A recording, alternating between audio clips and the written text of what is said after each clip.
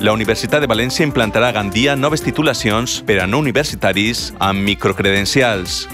Llista electoral del PSPB-PSOE de Gandia.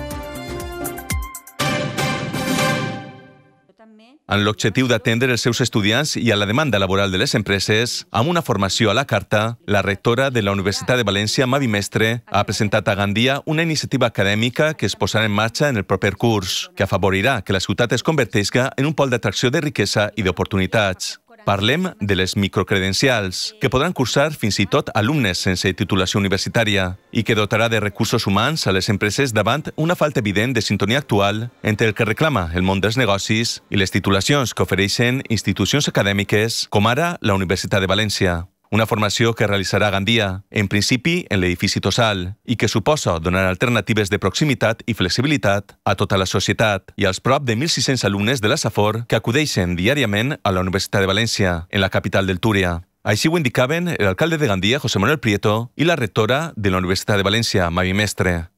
Però de manera immediata amb la formació en microcredencials. Què vol dir això? Vol dir que d'una forma immediata i sense que les persones que vagin a formar-se tinguin eh, preparació o formació universitària prèvia puguen eh, formar-se al servei de les necessitats de les empreses. És una formació que té reconeixement en l'espai europeu d'educació superior. I això no és qualsevol cosa. Però a més a més és una formació que és acumulable, una iniciativa acadèmica que servirà a la Universitat de València per a créixer en Gandia, i més en un any tan assenyalat com este, en el qual es commemora el 40 aniversari de la presència de la institució a la ciutat. Però el creixement de la Universitat de València passa també per la signatura d'un nou conveni amb l'Ajuntament de Gandia, la creació d'un grup de treball per a enllaçar oferta d'estudiants i demanda de les empreses, formació d'idiomes i el desenvolupament de doctorats industrials i per a que la presència, com vos deia, de la Universitat de València siga encara major en la ciutat de Gandia, que és ciutat universitària des de fa més de 500 anys, una ampliació del conveni amb la universitat que faça possible les noves línies de col·laboració. La segona, la creació d'un grup de treball que d'ací al pròxim curs acadèmic definirà aquestes línies en les que s'oferirà formació al nostre personal de la comarca. Portem així propostes realistes i per això necessitem aquest grup de treball mixte, universitat, eh, ajuntament, per tal de decidir quines d'aquestes propostes són viables Un dia més ens centrem en la llista que ha presentat el PSPB-PSOE de Gandia de cara a les eleccions municipals del mes de maig.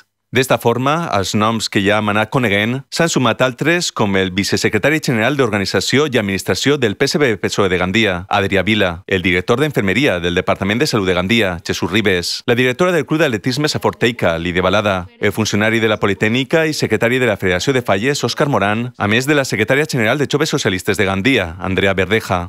A estos noms se suma també el germà major del davallament del Grau, Pep Santiago, la veïna de Beniopa i voluntària de Càritas Gandia, Rosa Siscar, l'infermer del consultori del Raval, José Enrique Serrano, la secretària de l'Associació de Veïns del Raval i membre de la directiva de la Junta Major de Germandats de la Setmana Santa, Dolores Oltra, així com el secretari local de la Unió Llauradora i Ramadera, Alberto Roig.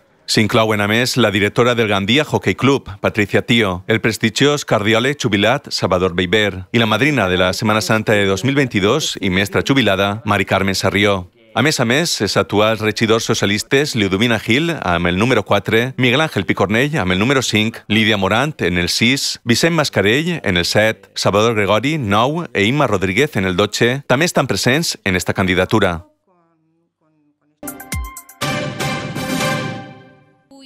Per primera vegada l'Ajuntament de Gandia convocava fora de la ciutat ducal als agents i professionals relacionats amb el sector turístic per a lliurar els Premis SICTET.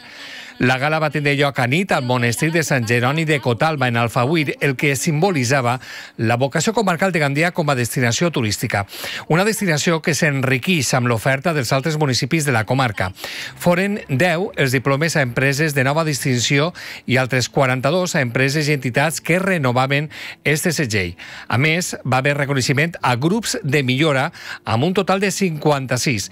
Esos grups eren sobre sostenibilitat turística, club de productes productes i accessibilitat universal. Sí, som la ciutat valenciana en més eh, setxells SICTED el que dona prova de la qualitat en el destí que hem anat incorporant progressivament a l'oferta turística perquè també és una forma de posicionar-nos. Però el vindre al monestir de Sant Jeroni és també la vocació de comarcalitat, no val solament amb el nostre terme municipal, complementàriament tenim una comarca fantàstica que també s'ha incorporat a aquest setxell Sictet, que ens dona valor afegit i crec que una bona forma de referenciar-ho era vindre a entregar els nous distintius al monestir de Sant Jeroni. Acudiren professionals d'entitats i representants de diferents sectors relacionats amb l'activitat turística.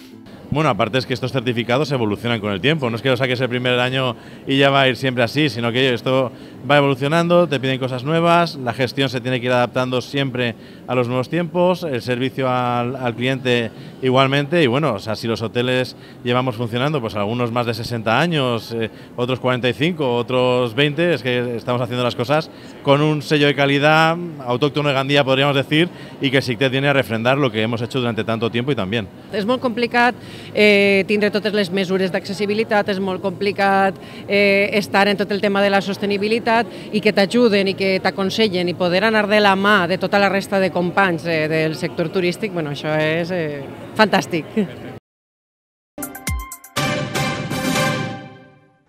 Sílvia i Maria se n'han anat de Gandia. Ja ens havíem acostumat al fet que formassin part del paisatge urbà de la ciutat, però les escultures monumentals de Jaume Plensa, cedides temporalment per la Fundació Hortensia Herrero, han estat retirades de la plaça Major de Gandia este mateix matí. 7 metres d'altura, les imponents cares pesaven ni més ni menys que 7.500 quilos cadascuna i han convertit a Gandia en un veritable referent cultural durant tot este temps, donat el reconeixement internacional que té Plensa. Durant set mesos, milers de persones han pogut gaudir d'aquestes magnífiques peces, com ha indicat el regidor de Cultura de Gandia, Nahuel González. Efectivament, avui estem un poc tristos no, en Gandia perquè se'n van les cultures de plensa. Per altra banda, també estem molt contents d'haver gaudit d'elles durant aquests mesos tan importants per a Gandia, on han passat milers de persones per esta plaça. Jo crec que s'han convertit en un exemple de, del que és l'art no? al carrer. Eh, ha sigut una obra molt acceptada, molt de consens. Eh, hi ha que agrair a la Fundació eh, Hortensia Herrero la sessió, eh, damunt la voluntat no? de mantenir-les durant molts mesos i crec que ha sigut una aposta cultural important de Gandia on la gent s'ha sentit identificada amb una bellesa eh, artística de primer nivell mundial. Unes obres artístiques que se'n van, però quedem a l'espera d'altres noves, com ha assegurat el titular de Cultura de Gandia. Bueno, tant l'alcalde com jo estem en contacte en diverses fundacions, en diverses entitats. Eh, tenim una proposta cultural pareguda, d'unes escultures també que, que pronte vindran a Gandia, eh, també de forma d'una amb una sessió, val? però evidentment Jaume Plensa estem parlant d'un top mundial i tant de bo poguerem gaudir més d'aquesta oferta, que la pròpia Fundació Hortensia Herrero eh, aquesta oferta cultural ens la continuaran oferint i si pot ser en uns anys, per què no, que puguen tornar. Un total de 1.100 mans unides i entrellaçades de bebès des d'un mes d'edat fins a persones majors de 103 anys són les que donen forma a l'última obra artística de l'escultor Jesús Martín Lorente Xule, que llueix ja en la plaça rectora Mavimestre d'Oliva. L'espiral de la vida, que així s'ha batejat esta obra d'art, s'ha presentat este matí en una gran festa que ha reunit desenes d'alumnes participants de centres escolars de la ciutat, així com a les persones centenàries d'Oliva que han format part d'este projecte impulsat per la Regidoria d'Educació i Gent Gran. Un acte molt emotiu on a ha estat de saltar-li les llàgrimes a la veïna més il·lustre i filla predilecta perquè enalteix encara més el que ha aconseguit arribant a rectora de la Universitat de València, així com el valor de l'educació. Precisament la vicealcaldessa i titular del Departament d'Educació, Anna Morell, destacava amb avimestre de la qui deia és inspiració i motiu d'orgull per a la ciutat, alhora que descrivia les diferents etapes de la vida que es mostren en esta escultura.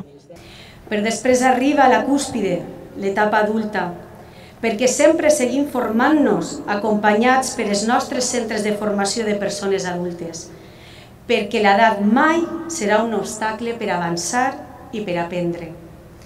Arriba la nostra gent gran, un dels majors símbols del valor de la vida, perquè la gent gran res, representa l'esforç, la lluita, les ganes de viure i l'experiència.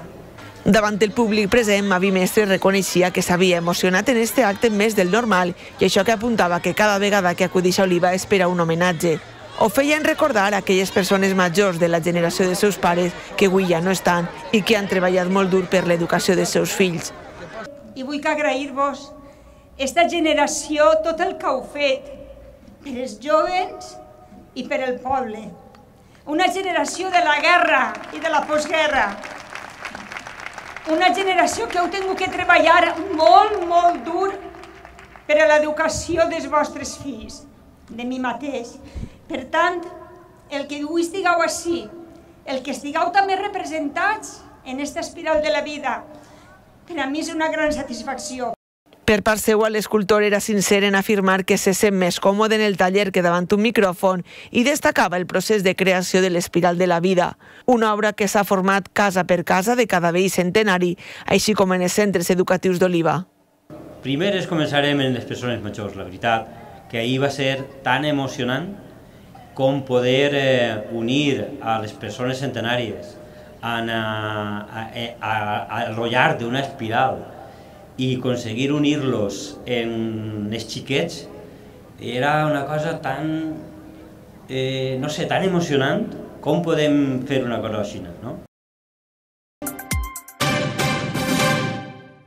La presentació del cartell del concurs internacional Fideuà de Gandia marcava la setmana passada el compte arrere per esta 48 edició, que serà el pròxim 8 de juny, i ara és moment d'anar coneixent més detalls d'esta cita. Un certamen gastronòmic que mantindrà el límit en 30 participants per assegurar la bona organització i que ja compta amb restaurants internacionals inscrits, a més, com sempre, d'una gran representació de cuiners nacionals i de la comarca de la Safor. El president de l'Associació Cultural i Gastronòmica Fideuà de Gandia, Belino Alfaro, ens ha revelat en el nostre espai de l'entrevista alguns dels països que estaran presents en el Moll d'Esborja en esta edició del concurs. El màxim representant de l'entitat gastronòmica es mostrava orgullós de l'interès dels cuiners internacionals que aprecien molt el que suposa emportar-se el collar de Santa Isabel. De moment, la presència internacional ja està garantida.